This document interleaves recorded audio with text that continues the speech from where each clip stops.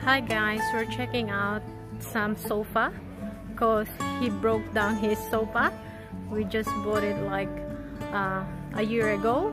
It didn't even last for two years so the base of the uh, sofa recliner it's like a recliner chair it broke up so we need he needs another one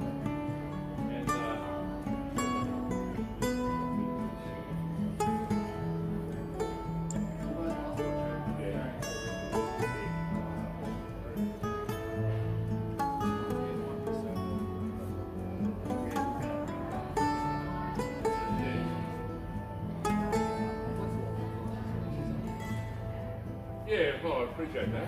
Um,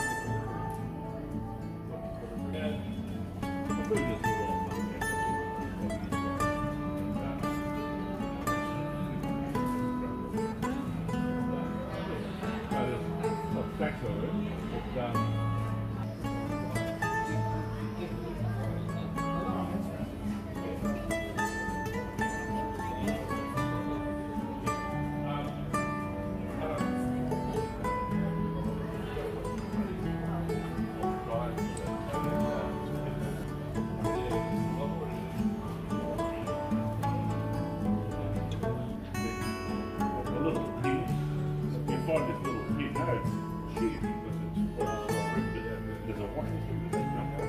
And then one side sagging and it won't recline or snap. Yeah, like, what's the those guys? Yeah, that's it, it, it wasn't, it was a mechanical problem with the motor, but it was just a, a scratch or a something uh, up in Check back and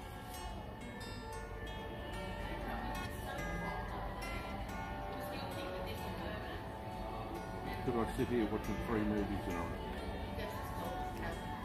how about your space What's the funniest way back? So if you hold that down, change the colour, you get 12 different Oh, there you go.